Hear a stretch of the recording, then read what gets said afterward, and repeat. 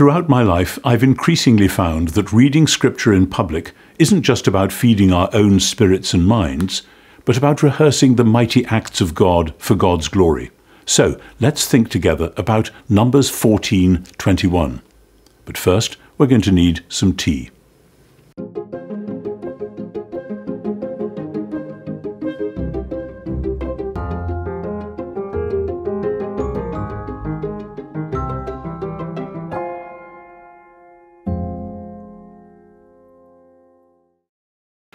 The Lord said, I do forgive just as you have asked. Nevertheless, as I live, and as all the earth shall be filled with the glory of the Lord.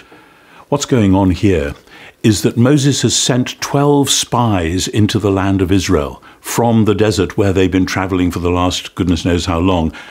And they have come back with a report, a report which two of them said was a happy report. Yes, God is giving us this land, we can go and take it.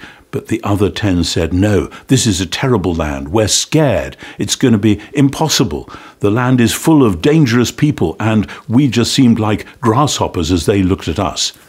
And God is cross, and Moses is cross. And this is part of the response of God to that message, that bad message from the ten spies who said, We can't do this. And why does God say at this point, in this passage that all the earth shall be filled with the glory of the Lord. It's looking forward past what God is doing in the Exodus, past even what God is going to do when the people have come into the land and when they have eventually been established in Jerusalem and when God has come to live in the temple in Jerusalem rather than simply in the wilderness tabernacle as he is doing at this moment in the book of Numbers. The point is this God is saying, not only can I bring you into this land, despite the fact that you think it looks impossible at the moment, but I've got greater purposes. I've got something much larger to do in you, through you, for you than you can possibly imagine. And so he's saying, don't think it's a big deal that I can do what I've promised. Trust me because it will go out way beyond what I've promised, and you'll see all sorts of new things which will come from that. I think of this frequently when I think of the way in which we get scared or anxious about the things which we think maybe God is calling us to do, and maybe it'll be difficult to do this, or dangerous to do that, or scary to attempt the other.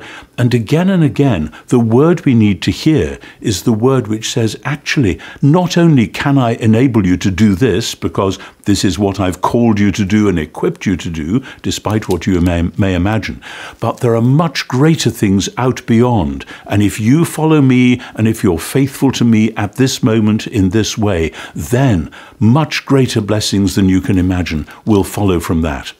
And all these greater blessings come within this remarkable biblical promise of the whole earth being filled with the glory of the Lord.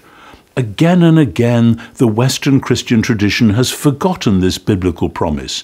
It's here in Numbers 14, it's there in Isaiah 11, it's there in Habakkuk 2, it's there in Psalm 72, and it's there by implication all over the place that the point of God making this bipartite heaven plus earth creation was not in order to have people living on earth for a while and then kind of graduating and going off to heaven, but rather that God would eventually bring heaven and earth together and that God Himself would come in His glory and live in this new combined reality.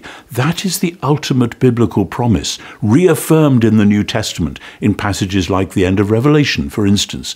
And it's when we keep our eyes on this promise about all the earth being filled with the glory of the Lord, and when we see that that was accomplished in principle through Jesus and the Spirit, then whatever the things are which we're called to do at the moment, even if, like the ten spies, we think, oh dear, we're never going to make this.